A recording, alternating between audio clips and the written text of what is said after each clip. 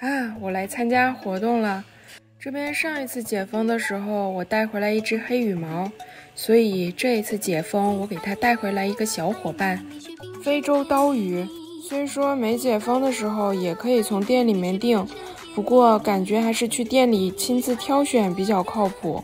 因为家里的黑羽毛已经从一个食指那么长，长到了现在这个长度，所以感觉还是要挑一个体型大一点的非洲刀鱼陪它。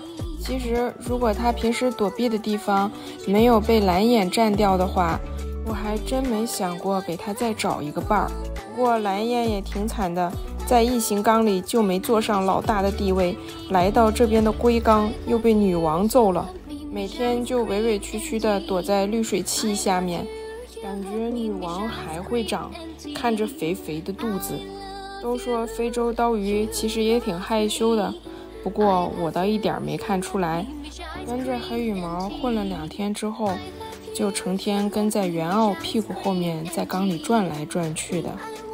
啊，现在异形缸相对的稳定了，不过这个小家伙也是过来调理的。正好碰到了我们家钻文在晒背，拍一下。这个家伙白天不晒，晚上晒，也不知道是什么状况。既然已经解除居家令了，所以顺便就去了另外一家店。只可惜他家大体型的非洲网球虾卖掉了，就拿了一只小体型的回来，希望它可以在异形缸里好好吃饭，快点长大。异形缸里面大体型的鱼总是打架，不过像六百这种小体型的还是待得蛮安逸的。